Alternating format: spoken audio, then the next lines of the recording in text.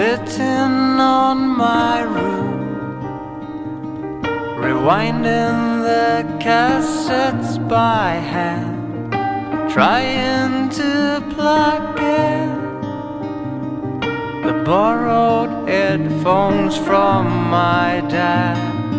Music took my life and gave it colors I'd never seen before both my drug and my medicine, lifting me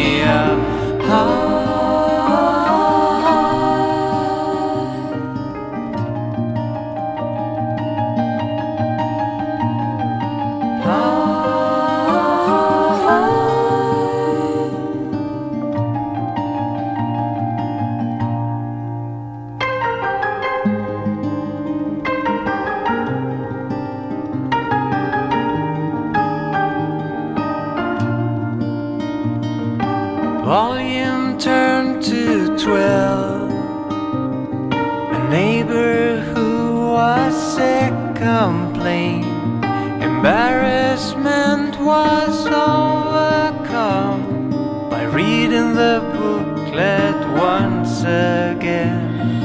Music took my life and gave it colors. I